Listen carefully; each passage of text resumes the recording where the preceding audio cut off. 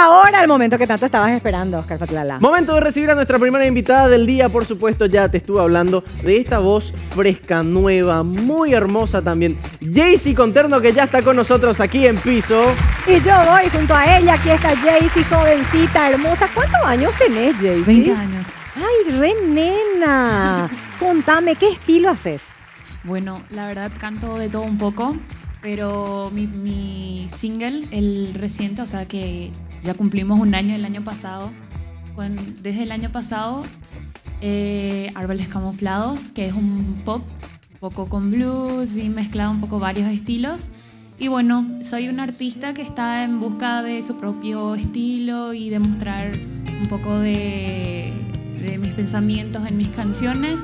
Y bueno, a componer canciones ahora en la pandemia también fue un tiempo muy bueno para estar componiendo. Muy hermosa por sobre todo. Y tu luqueado, ¿quién te hace el asesoramiento? ¿Qué te vas a poner? ¿Qué colores usar? Porque él manejas perfectamente todo ese tema.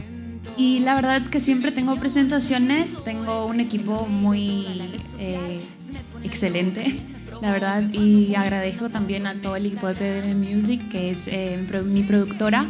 Pero bueno, hoy yo misma me produje y bueno, acá estoy con las cosas que encontré en el, en el ropero, nomás ya me preparé, me desperté súper temprano, me empecé a maquillar y, y eso. Me encanta porque ella tipo cantante ya va alejando su micrófono. Sí, te va juro. así, sí, muy simpático porque va hablando y va alejando su micrófono. Y yo, no alejen, no alejen, no alejen.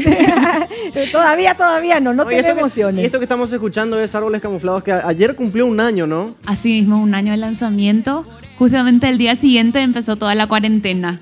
Así Y mismo. Yo tenía toda mi gira de medios que iba a presentar mi canción y lamentablemente se dio esa problemática, pero también fue una manera de prote- protegernos, entonces eh, se tuvo que aguantar y bueno. Ahora, un año después, te invitamos justamente para festejar los un año de lanzamiento. Y ahora sí empezás toda tu gira, empezás todo ya o todavía.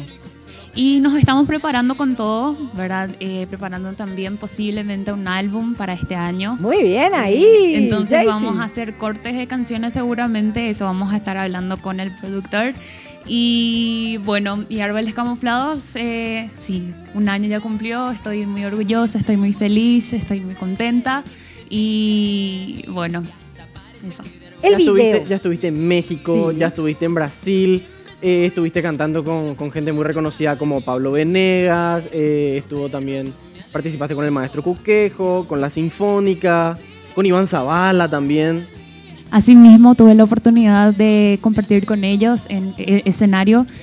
Fue una experiencia súper genial. Viajé al exterior cantando la música folclórica, cantando y bailando con un grupo folclórico paraguayo, donde fuimos seleccionados así cada persona de, cada ciudad de nuestro país. Y bueno, compartir escenario con estos grandes representantes de nuestro, de nuestro país es algo muy genial, es algo súper eh, increíble y espero que podamos volver a compartir escenario luego pronto y con más personas también que admiro muchísimo. Y justamente Pablo Venegas es mi productor, entonces quiero mandarle un saludo. Muy bien, así me dice Oscarcito, no, por favor, mamá, escúchala. Si la escuchas vas a entender lo que te digo. Y de hecho sucedió Lo que, algo pasa, muy lo que pasa muy simpático. simpático, ¿verdad? Porque eh, ella grabó con papá. y yo no Eso sabía, quería contar. ¿entendés? Yo no sabía. Y me dice el productor, le paso el link de YouTube al productor y me dice, ah, boludo, vos vas a tocar, argentino pues, ah, boludo, vos vas a tocar con ella. Dice, no, no, mi papá. Es mi papá, le dice Quiero él. sí. mandarle un saludo gigante también a él. Eh, todavía no tuve el placer de conocerlo, pero bueno, ya le conozco a su hijo, entonces solo falta conocerle a él. Entonces eh, le mando un súper saludo, un gran pianista, un gran músico. Es un placer siempre poder contar con él. Vos sabés que me quedé enamorada del video, me quedé, me quedé enamorada de tu voz, de tu luqueado, la manera en que te, te desplazas, porque viste, acá es un poco complicado al ser realidad aumentada. Eh, es una zona un poco, sí, es- justamente, es una zona un poco diferente a lo que estamos acostumbrados en escenario.